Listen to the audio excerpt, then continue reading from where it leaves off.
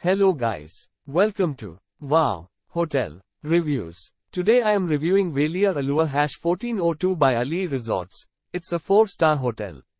Please use our booking.com link in description to book the hotel and get good pricing.